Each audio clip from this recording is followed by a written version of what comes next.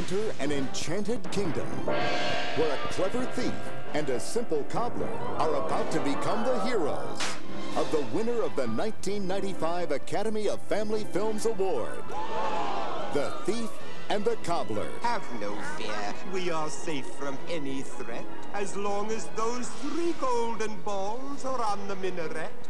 It's the magical story of a brave young boy, a daring thief, and a beautiful princess What is your name? Tack. who team up with some funny new friends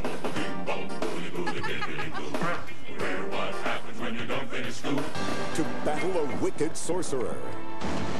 The world is mine to take. The balls are gone! conquer an evil army, and discover the secret that will save the Golden City. Wonderful! Critics call The Thief and the Cobbler terrific and phenomenally imaginative. Own this extraordinary and enchanting animated adventure. The Thief and the Cobbler.